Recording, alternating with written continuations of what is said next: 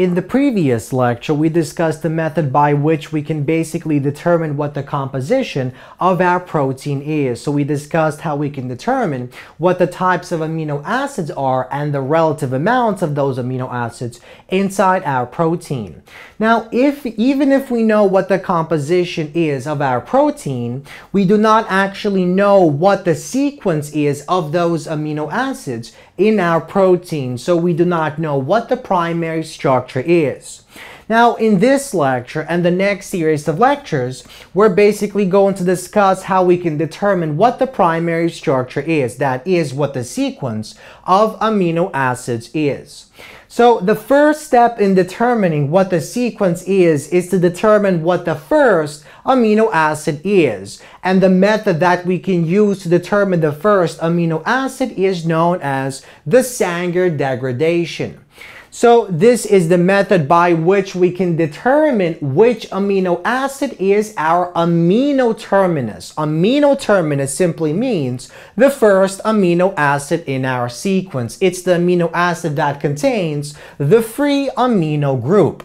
Now, the first step in Sanger degradation is to take our protein and mix it with a thiol molecule. The thiol molecule will basically reduce our protein. It will break all these red disulfide bonds. For example, let's suppose our protein has quaternary structure. It consists of these two polypeptide chains. We have the green polypeptide chain and the, and the blue polypeptide chain that are connected by disulfide bonds, these red bonds. If we mix it with our thiol, we basically denature, we break down all these red bonds, and we now have our two individual separate polypeptide chains.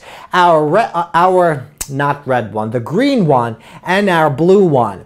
Now, the N simply means it's the first amino acid in line. It's the amino end. And the C means it's the carboxylate end. So basically, this is the first and this is the last amino acid in line. And the same thing goes for the second blue polypeptide.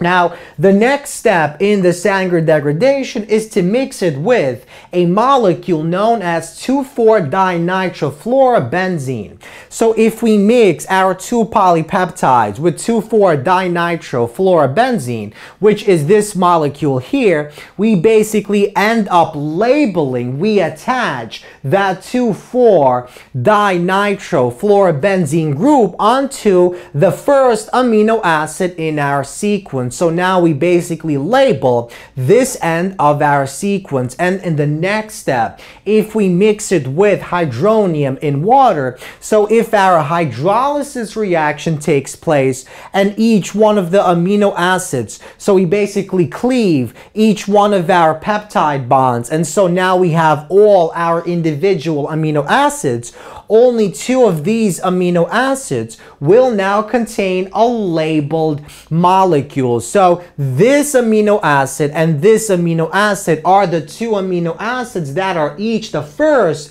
amino acid in our sequence of these two polypeptides. So then we can collect these amino acids and determine which amino acids those are. Now, what exactly is the reaction mechanism in which we take our 2,4-dinitrofluorobenzene and we place it on top of that polypeptide. How does this reaction actually take place? So let's take a look at our reaction mechanism.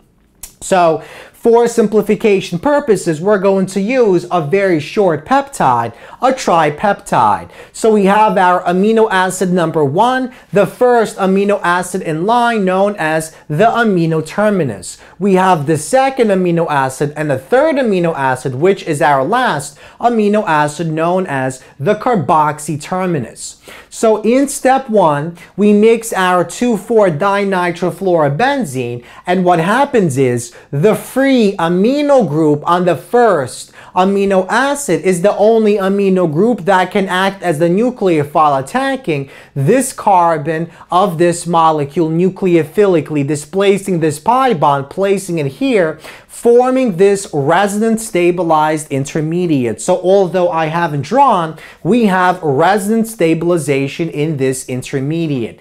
Now in the next step, we have the reformation of the aromatic benzene ring. So this pi bond reforms this pi bond. At the same time, we have this fluorine le uh, leaves the molecule. It acts as our leaving group and we form this intermediate that contains the positive charge on this nitrogen, which is the nitrogen found on the first amino acid. Now, in the third step, some type of base, for example, the fluoride ion, can deprotonate this H off of our nitrogen, forming this labeled dipeptide molecule, which is basically one of these molecules here, in which this labeled section is our 2,4-dinitrofluorobenzene group. It's the purple group that is shown in this sketch here. Now in step four, we basically take our labeled tripeptide and mix it with hydronium in water and hydrolysis takes place. So basically we break each one of these peptide bonds and we form the individual amino acids. And only one of these amino acids will contain a labeled section. And that's the first amino acid in line. So then we can basically use some type of analytical technique to determine what the amino acid is that contains this labeled 2,4-dinitrofluorobenzene group. Now, of course, in this case, we have two of these polypeptides, so we would have two of such molecules, and then we have to determine which molecule basically belongs to which one of our chains. And we can do this easily by basically separating these two polypeptides into two different beakers and then conducting these experiments in these separate beakers.